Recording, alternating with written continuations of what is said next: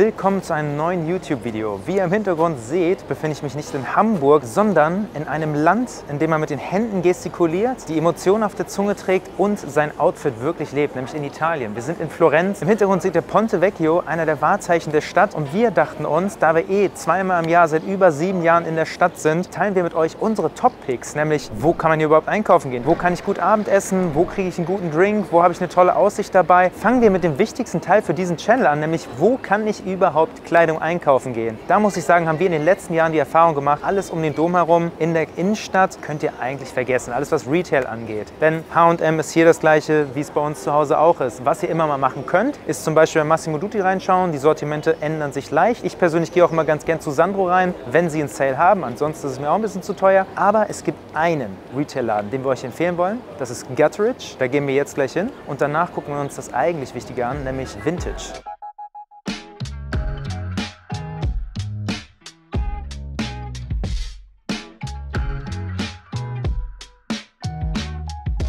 Hinter uns seht ihr Gutteridge und das ist tatsächlich unsere allererste Anlaufstelle, wenn wir in Florenz sind. 1878 wurde der Laden gegründet und bietet mittlerweile Anzüge, Sakkos, Hemden, Hosen, wirklich alles, was ihr euch vorstellen könnt, zu sehr guten Preisen an. Lohnt sich immer reinzuschauen. Im Sale könnt ihr teilweise einen Pulli für 30 Euro mitnehmen und das lohnt sich absolut. Gutteridge ist uns deswegen aufgefallen, wir sind immer durch die Straßen gelaufen und dachten so, okay, die Anzüge sehen gut aus, die Details sind ganz schön. Wenn man hier zum Beispiel sieht, wir haben zwei Reiher, die Kombinationen sind halt auch mal sehr stark. Wir haben hier ein Navy mit Weiß kombiniert, einem dunklen Gürtel Einstecktuch, weißes Hemd, sehr schön maritimer Look. Im Hintergrund haben wir einen hellblauen Anzug, was ich tendenziell nicht empfehlen würde, aber der von der Farbe her, vom Material, das ist ein Leingemisch, sieht top aus. Und allein wenn das Schaufenster so tasty aussieht bei einem Laden, dann musst du einfach mal reinschauen, was sie wirklich drin haben. Und äh, auch der Preispunkt ist sehr, sehr gut. Das eine Sakko kostet 189, das andere auch und da kannst du echt nichts zu sagen. Gerade bei Sakkos und Anzügen zu solchen Preisen solltet ihr auch immer drauf schauen, wie die Materialzusammensetzung ist. Denn in den meisten Fällen ist zu viel Polyester verarbeitet arbeitet, was ich euch nicht empfehlen würde. In dem Fall ist es eine Mischung aus Baumwolle und Leinen, was absolut genial ist für den Sommer und auch ein sehr, sehr schönes Qualitätsmerkmal, gerade auch bei Guttridge, ist, wenn du hier mal auf das Label schaust, Vitale Barberis Canonico. Das ist eine der besten Webereien auf dieser Welt.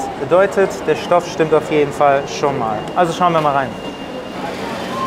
Neben der genialen Musik von Britney Spears spotte ich unter anderem schon direkt das erste Teil und zwar ein Zweireiher aus Leinen. Super, super nice. Den gibt es in Navy, den gibt es in komplett weiß. Die passende Hose hängt daneben. Alleine der Blazer 190, was völlig in Ordnung ist. Für 100% Leinen. Das ist genau das, wovon ich spreche. Ihr habt kein Innenfutter drin, das heißt, es ist maximal luftdurchlässig. Das ist genau das, was ihr für den Sommer braucht. Die passenden Hosen hängen hier auch noch dazu. Also ihr könnt euch einen kompletten Anzug, wenn wir jetzt mal schauen, wir haben 190 bei dem einen Sakko und dann kommen hier 80 Euro dazu. Also sind wir bei 270 Euro. Euro, ja. so bei 270 Euro für einen perfekten Leinenanzug. Und die Sache ist, es wird halt immer besser in diesem Laden. Hier haben wir einen Dreiteiler Leinenanzug, komplett in weiß. Auch Hammer. Das sind auch die Einzelpreisteile, was ja auch wunderbar ist. Du kannst halt die Weste kaufen, du kannst den Anzug kaufen, du kannst die Hose kaufen. Meistens ist es ja so, dass man daran gebunden ist, dass man alles zusammen kauft. Musst du hier nicht. Dann haben wir einen helleren Beige-Ton, dann kommt ein dunklerer Beige-Ton und dann kommt das hellblaue, was wir draußen auch schon gesehen haben. Wie ihr seht, auf jeden Meter finden wir hier geniale Ware und hier kommt schon das nächste, auch meine Highlights. Wir haben zum Beispiel hier ein dunkelrotes Leinensacko. Super schöne Farbe. Wir haben hier noch ein paar andere hellere Töne. Wir haben helles Grün, wir haben ein helles Blau. Hier haben wir sogar ein Seersucker Zweireiher. Also die Materialien finde ich jetzt schon mal ziemlich, ziemlich stark. Und auch da Preispunkt kannst du einfach nicht meckern. Und um nicht einfach nur über Anzüge zu sprechen, auch wenn ihr euch mal die Hemden anschaut. Ich habe das hier gespottet, das werde ich wahrscheinlich auch kaufen. Schaut euch mal die Details an. Wie schön der Kragen gemacht ist. Schöner langer Kragen. Das Material fühlt sich super an und das Krasse haben wir eben schon gesehen, der Preispunkt 49 Euro. Kannst du nicht meckern, also werde mir auf jeden Fall eins kaufen. Unten gibt es noch eine Auswahl an klassischeren Teilen, sowas wie ein Trenchcoat, da gehen wir jetzt mal runter und gucken. Allgemein finden wir unten noch etwas klassischere Sachen, so wirklich die Basisausstattung. Wir haben hier zum Beispiel eine Reihe von Polos, was sehr, sehr stark ist. Da haben wir hier zum Beispiel ein Trenchcoat, da in dunkelblau machst du gar nichts mit falsch. Und äh, dann haben wir hier, wir haben Jeans, wir haben Chinos, wir haben alle möglichen Basisfarben. Und auch hier eine sehr, sehr coole Weste. Ich liebe den Laden. Das ist der einzige Retail-Laden, den ich hier wirklich in Florenz wärmstens empfehlen kann. Wir gehen jetzt aber weiter und schauen uns Vintage-Läden an. Wir fangen an mit Melrose. Melrose gibt es hier zweimal in Florenz, einmal am Bahnhof und einmal in der Nähe von der Kapelle. Die meisten Vintage-Läden sind auch immer kumuliert aufzufinden. Genauso bei denen. Wir gehen erst zu Melrose und dann zu einem weiteren. Und das wird euch wirklich umhauen. Also im Hintergrund seht ihr auch einen der Märkte, wo ihr Lederwaren einkaufen könnt. Prinzipiell keine schlechten Sachen. In Italien, gerade in der Florentiner-Gegend, gibt es tolle Lederwaren. Aber muss ich sagen, ich würde mir hier, wenn dann nur ein Portemonnaie, eine Kleinigkeit kaufen. Die großen Taschen nicht wirklich. Riechen immer relativ stark. So gut ist die Verarbeitung der Sachen auch nicht. Und sie versuchen euch immer abzuziehen, Leute. Hier laufen so viele Touristen vorbei. Da werdet ihr keinen guten Preis bekommen. Also Leute, wenn ihr das vermeiden wollt, was gerade bei mir im Hintergrund abgeht, das sind Massen und Mengen und Menschentrauben an Touristen mit irgendwelchen Guides und Lautsprechern, dann würde ich euch empfehlen, nicht im Juni, nicht im Juli, nicht im August zu kommen. Auch vom Wetter her ist es viel zu heiß. September ist der Monat. Auch was die Preise angeht für Airbnbs, für Hotels, ihr tut euch nur einen großen Gefallen, wenn ihr im September kommt.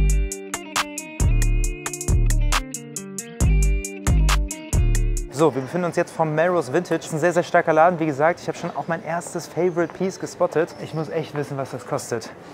Oh, nice. Wir gehen jetzt gleich mal rein. Es gibt mehrere Räume. Es gibt einen Militärraum, es gibt einen Damenraum. Ich weiß es nicht genau, wir zeigen es euch gleich. Ich weiß, dass ich euch nicht zu viel versprochen habe. Wir befinden uns jetzt in einem der Räume, wo es quasi ausschließlich Jacken gibt. Wir haben hier einmal eine super, super starke College-Jacke. Alles mögliche an Lederjacken, Lederwesten, Indianer-Style, alles am Start. Super, super cool gemacht. Jetzt geht es weiter in Richtung Sakkos. Alles Glenncheck. Wir haben Hahntritt. Lederjacken haben wir auch ganz stark. Coole Sachen. Wir haben hier sogar neue Hemden. Und halt wirklich, also alles an Details, was man sich vorstellen kann. Auch wenn man hier mal reinschaut, ihr könnt wirklich alles durchforsten. Hier ist einmal was, kommen wir einmal rum. Socken, Handschuhe in allen Farben. Also wirklich in jeder Schublade. So eine Schatzgrube. Tatsache, guck mal hier, was sind das für coole Sachen. Also wirklich, nochmal Handschuhe, stark, Socken. Eigentlich haben die auch immer, ach, guck mal hier, alles hier noch mit Price Tag dran. Also du findest wirklich so, so, so nice Sachen. Kaschmirsocken. Boah. Ja, Kann ich hier mein drittes Bein noch mit eindecken. Ja, oder hier zum Beispiel auch Shirlingjacken. Und das ist, wie gesagt, das ist nur ein Raum, ne? Ultra cool, wirklich. So, dann kommen wir jetzt zum Militärraum. Wie ihr seht, hier gibt es alles Mögliche an Militärsupply. Wenn ihr mal schaut, super geniale Sachen. Allein da oben der Trenchcoat, Hammer. Ah, Vom Schnitt her, von der Farbe her super cool. Wir haben Taschen, wir haben Koffer. Ah, Wir haben hier zum Beispiel fast ungetragene Timberlands in Wildleder. Auch coole Dinger. Wir haben hier Haarfellschuhe, auch cool. Oder natürlich hier einfach alles Richtung Uniform. Wir haben hier Kurzarmhemden, Westen, Pullover, deutsches Militär, wir haben US-amerikanisches Militär, wir haben teilweise koreanisches Militär. Und an sich, wenn ihr einfach Lust auf Feldjacken habt, hier auch eben schon rausgezogen, komplett ohne irgendwelche Abzeichen. Wenn das nicht cool ist, also mehr Patina bekommt ihr nicht. Und das zu einem Preis von 55 Euro. Finde ich völlig in Ordnung. An sich auch in dem Laden, die ganzen Details sind der absolute Hammer, weil ich meine, was ist das? Also, ist das ein Hoverboard oder? Das ist ja wie ein Roller oder so. Und hier ist noch ein Moped. Also, wenn du von der Kleidung nicht fündig wirst, dann kannst du auf jeden Fall ein Kraftfahrzeug mitnehmen. Und nicht genug von den Militärsachen. Ihr habt natürlich auch alles an Denim zur Auswahl. Schaut euch allein mal die Auswahl an Jeans an. Die hier, das geht hier oben natürlich auch noch weiter. Eine Bandbreite an Vintage-Hosen. Also da werde selbst ich mit meinen Hühnchenbeinen fündig. Ich finde Vintage-Gürtel halt auch mal cool, wenn man sich sowas anschaut. Ein bisschen was an Patina. Hier hängen auch noch mal welche. Von Kleidung über Hüte, über Gürtel, Einstecktücher, Aufnäher. Hier zum Beispiel auch richtig cool. Knöpfe haben wir da vorne. Krawatten, habe ich eben schon gesehen. Auch wirklich Designerware. Lavant zum Beispiel. Das finde ich ein sehr, sehr schönes Muster. Das ist schön. Ja, eine alte Hugo Boss Krawatte, auch sehr cool. Also ihr werdet hier wirklich fündig. Also ich hole mir jetzt das eine Stück. Ja, yeah, I need this T-Shirt before someone else buys it, you know? Also ich würde ja sagen, meine Frau freut sich, aber es wäre wirklich stark gelogen. I wanna be the very best. Dankeschön. Ist das überhaupt meine Größe? Ich glaube, ich muss es erst anprobieren. Im Prinzip ist egal, wie es sitzt, oder? Es wird ziemlich sicher zu klein sein, aber ich probiere es jetzt mal aus. Ich wünsche mir Glück. Also, Ein bisschen eng, aber ja, das ist halt die Frage, wie eng darf ein Pokémon-Trainer ein T-Shirt tragen? Ne? Das ist eine Stilfrage, die ich aber auch an euch zurückgebe. Also, es fühlt sich so richtig, aber auch so falsch zur gleichen Zeit an. Weiß nicht, ich weiß nicht, was ich denken soll. Ich, ich bin verwirrt. oh Mann. Die Leute gucken auch schon. Ja? Okay. She likes it. It's a bit too tight, right? I was going to say it's a bit. I think it's a bit tight. Yeah. No, make it smaller. But like for a Pokemon trainer, I think it's it's okay, no? It's okay. Ja. Fuck ein. Ja, ich denke auch. So, Melrose liegt jetzt hinter uns. Ich habe das legendäre Pokémon-T-Shirt mitgenommen, über das sich meine Frau auf jeden Fall nicht freuen wird. Sie wird es bei der nächsten Gelegenheit versuchen auszusortieren. Wir haben jetzt noch in der unmittelbaren Nähe einmal Daisy Vintage. Das ist ein etwas aufgeräumterer Laden, ein bisschen ausgesuchter auch. Und den blende ich euch hier jetzt nochmal mit ein. Das ist auch ein cooler, cooler Laden. Ansonsten zeige ich euch jetzt auch nochmal Dolce Vita. Zu dem Laden laufen wir jetzt extra hin, weil die Sachen, die es dort gibt, sind so cool. Die will ich gar nicht erzählen, die sollt ihr per Video sehen. So, wir stehen jetzt vor La Dolce Vita und wie ihr es unschwer erkennen könnt im Hintergrund, es gibt hier Vintage Fußballtrikots. Kommt mal kurz mit. Und zwar, wenn man mal schaut, wirklich geniale Sachen. Du hast zum Beispiel was von Messi, du hast hier was von Totti, du hast was von Maradona aus seiner Barcelona-Zeit. Also super coole Sachen. Du hast auch Vintage-Luxus-Sachen, wie man da hinten sieht. Also wirklich, wirklich coole Artikel. Das ist eine absolute Empfehlung. Wenn ihr Fußballfans seid, müsst ihr dort reingehen. Ansonsten, die nächsten Vintage-Läden sind in der Nähe von Ponte alla Caraya, wenn ich das richtig ausspreche, einer der Brücken. Einmal auf unserer Seite der Brücke haben wir welche, zum Beispiel Taten Vintage, da gehen wir jetzt noch mal kurz hin. Und ansonsten auf der anderen Seite sprechen wir auch gleich noch mal drüber. Aber lass uns kurz zu Taten gehen. Wir sind jetzt bei Tartan Vintage. Dieser Laden hat alles an englischer Mode, was ihr euch auch nur vorstellen könnt. Barber Wachsjacken, ihr habt Cricket Pullover, ihr habt Gehstöcke, ihr habt Uhren. Der Laden ist ein absoluter Overload an wirklich genialen Sachen. Fangen wir hier einmal an und ziehen einmal, drücken einmal am Pferd. Und wenn wir hier jetzt schon reinkommen, als allererstes finde ich die Flanellhemden super nice. Wenn ihr mal reinschaut, hier habt ihr eine ganze Menge an Flanellhemden. Direkt geht es weiter mit Westen auf dieser Seite. Da habt ihr auf der anderen Seite auch schon super geniale Tweed-Sakkos. Schaut euch mal diesen Stoff an. Unglaublich cool. Prince of Wales Muster haben wir dabei. Wir haben Hahntritt, Fischgrät, alles dabei. Also dich einfach mal durchprobieren. Wie schon erwähnt, wirklich alles so englisch, wie man sich nur vorstellen kann. An den Schals sieht man es auch wunderbar. Wir haben Aquascutum, wir haben Burberry, Barber. Schaut euch mal die Gehstöcke an. Union Jack ist dabei. Also wenn das nicht cool ist, ist bestimmt auch irgendwo ein Dolch. Ziemlich sicher. Do you have a Do you have a sword in here? No, I have uh, only one with um, Umbrella? price enough for drink. For drink? No. nice. Okay. For the discreet gentleman. Very nice. Und hier, wenn ihr auch mal schaut, hier unten gleich Horsebit Loafer. Das ist so ein underrated Schuh, wirklich. Super, super schön. Das ist äh, mit das äh, Signature Piece von Gucci. Und hier ist in rohen Mengen, findet ihr dieses wunderschöne Paar Schuh. Genial. Da muss man aber wirklich darauf achten, dass es einem auch steht. Ich bin nämlich etwas zu schmal für sowas. Wow. Ein. Jetzt fehlt mir gerade der Name. Duffelcoat. Duffelcoat, danke. Ein Duffelcoat und vor allem von Aquascutum. Das ist die englische Marke zusammen mit Burberry, die diese Sachen ikonisch herausgebracht haben. Du brauchst eine gewisse Körperbreite. Wenn ihr bei mir mal schaut, ich bin sehr schmal. Da, das, da gehe ich dran unter. Das sieht nicht aus. Also du brauchst eine gewisse Körperbreite, um den tragen zu können. Aber wenn du die hast, dann rock die Dinger. Wirklich, probier's mal. Und davon gibt es hier auch 1, 2, 3, 4, 5 in unterschiedlichen Farben. Wir haben auch hier wieder Harris Tweed verwendet. Wir haben Raglan-Mäntel, wie den hier zum Beispiel. Das ist eine schöne Farbe auch, ne? Ist grün. Ah ja, hier steht nur High Quality drin. Das muss dann auch High Quality sein. Aber cool, oder? Super schön. Kann man sich jetzt gar nicht vorstellen, das anzuziehen bei den Temperaturen. Okay, darunter verstecken sich nämlich nicht nur eine, nicht nur zwei, nicht nur drei, sondern circa, boah, was sind das hier? 30 Wachsjacken von Barber. Also auch die, ne? Kann ich nur empfehlen, kauft die Dinger Vintage. Natürlich immer cool, seine eigene einzutragen, gar keine Frage. Ich trage die, die meine Mutter getragen hat, als sie mit mir schwanger war. Das Ding ist riesig, sieht aus wie ein Müllsack, aber ich liebe sie. Hier findet ihr welche in eurer Größe mit der Patina von jemand vorgetragen. Cooler kann es ehrlich gesagt nicht werden. Also ja, wenn ihr sowas online findet oder in einem Store, in einem Store, nehmt es mit. Und auch hier, schaut euch mal die Hülle und Fülle an Krawatten an. Was hier alles an Mustern dabei ist. Hier so ein schönes Paisley, cool, unglaublich. Mal hier mit Enten drauf, sehr, sehr cool. Schöne Sachen. So, das war Tartan Vintage. Es gibt jetzt noch auf der anderen Seite des Flusses von Ponta alla Caraya, einfach über die Brücke rüber, sagen wir eine Ansammlung von circa fünf bis sieben Vintage Stores. Die wollen wir jetzt nicht alle durchgehen, das würde den Rahmen sprengen. Einer sticht besonders heraus und das ist PX Military Vintage. Kommt da alles mögliche auch an Feldjacken, an Military Supply, eventuell auch New Old Stock Sachen. Einfach mal vorbeischauen. Aber um das Thema des Abends jetzt auch nochmal aufzurollen, ich habe echt Bock auf einen guten Drink. Deswegen schauen wir jetzt mal, was wir an schönen Bars noch finden. Okay, wir sind jetzt zurückgelaufen, mehr Richtung Innenstadt. Wir sind jetzt am Piazza della Repubblica, denn wir sind auf der Suche nach einem guten Drink, der in Italien nicht allzu schwer zu finden ist. Die Frage ist nur, worauf habe ich Bock? Ich persönlich gehe mal davon aus, ich gehe entweder mit meiner Frau oder in eurem Fall vielleicht mit eurer Freundin was trinken. Wir wollen eine nette Umgebung haben, coole Leute, coole Musik, nicht zu laut, nicht zu leise, nicht zu voll, nicht zu leer. Und im Hintergrund sehen wir zum Beispiel Gilly. Gilly ist schon eine coole Adresse, gar keine Frage.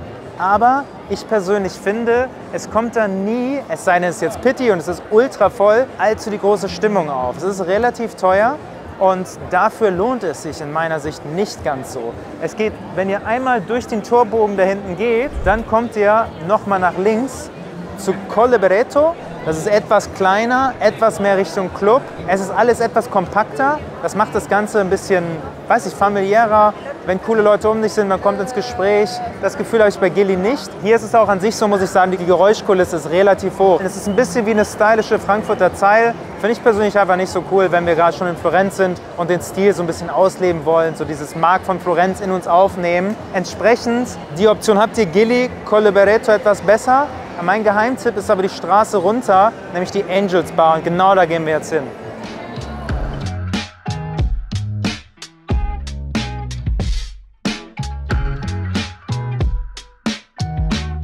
Sind jetzt in der Angel Terrace Bar angekommen. Wirklich, wirklich cool. Du hast einen Blick über Florenz, du hast tolle Drinks, du hast eine obene Aussicht, du hast auf mehreren Ebenen, kannst du aussuchen, wo du sitzen möchtest. Also ich gucke jetzt so in die Karte, als würde ich immer heraussuchen müssen, was ich trinke. Ich trinke auf jeden Fall einen Aperol Spritz, weil ich bin in Italien. Schaut euch den Ausblick an. In die Richtung haben wir den Turm vom Rathaus, ist das. Auf der anderen Seite sieht man den Dom. Und wenn man hier beim Abend sitzt und mit seiner Freundin, mit seiner Frau hier einen Drink nimmt, hier hat man echt einen ganz schönen Blick. Und wenn es noch ein bisschen wärmer ist, Leute, hier kann man sich gut gehen lassen. Tagsüber wie auch abends. Sprechen wir über das Thema Frühstück in Italien. Ich muss euch tatsächlich enttäuschen, Leute. Italien hat keine Frühstückskultur. Normalerweise bekommt ihr einen Kaffee, einen Biscotti, und alles an Backwaren schmeckt gleich, leicht zitronig und ansonsten mit relativ wenig Geschmack. Was ich euch aber empfehlen kann, wenn wir hier in Florenz sind, sind kleine Läden wie der hier bei uns im Hintergrund. Ihr könnt hier wunderbar frühstücken, es gibt Panini, ihr könnt die belegen lassen, wie ihr wollt, guten Kaffee dazu, wenn ihr mal ein bisschen schaut. Es ist wirklich ganz schön, es ist sehr klassisch Florentiner-Style. Passt euch den Italienern an, macht das nicht zu eurer Hauptmahlzeit des Tages, denn am Ende des Tages warten noch ganz, ganz andere Sachen auf euch, auf die wir auch gleich nochmal zurückkommen.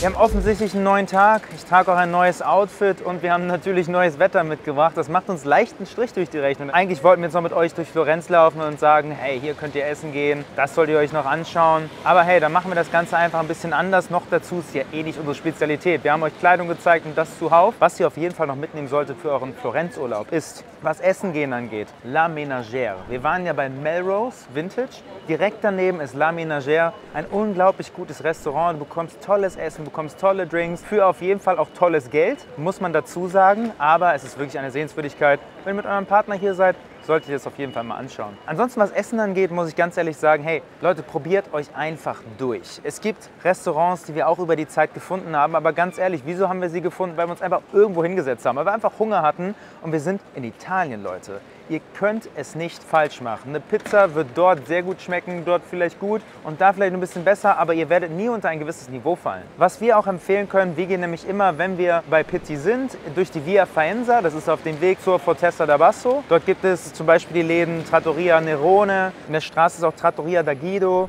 Geht einfach da durch die Straße. Ich kann euch nur empfehlen, macht eure eigenen Erinnerungen. Ansonsten aber noch eine Restaurantempfehlung, die wirklich gut ist, muss ich sagen, äh, Trattoria dall'Oste. Das ist, soweit ich weiß, als eine Kette. Es gibt auf jeden Fall mehrere Filialen in Florenz. Eine davon ist in der Nähe vom Dom und das ist für uns das Restaurant. Immer wenn wir mit Pitti Uomo durch sind, dann gehen wir dort was essen, zu dritt, zu viert. Ihr habt unglaublich gutes Fleisch, wirklich. Ansonsten, Leute, was Sehenswürdigkeiten angeht, wir haben ehrlich gesagt die letzten Jahre nie wirklich viel gesehen. Wir waren immer bei Pitti, wir haben unser Ding gemacht. Klar, es gibt gewisse Punkte, wie zum Beispiel den Dom, den solltet ihr euch anschauen. Ponte Vecchio. Ponte Vecchio ist die Goldbrücke, dort wird seit Jahrhunderten mit Gold gehandelt. Ansonsten, wir wollen jetzt auch nicht zu sehr von unserer Linie abweichen und euch jetzt erzählen, was ihr alles Tolles machen könnt wie die Historie hinter diesem und hinter jedem Gebäude ist. Schaut einfach online. Ich habe selbst ein, zwei, drei Begriffe gegoogelt. Florenz Sehenswürdigkeiten und ihr bekommt Tipps. Da könnt ihr übermorgen noch nicht durch sein. Also das kann ich euch nur mitgeben. Florenz ist eine unglaublich schöne Stadt, tolle Leute, super Essen, sehr viel Charakter und Charme. Ich persönlich war schon über 15 Mal hier und ich freue mich ehrlich gesagt auf 16. Mal und auch auf 17. Mal.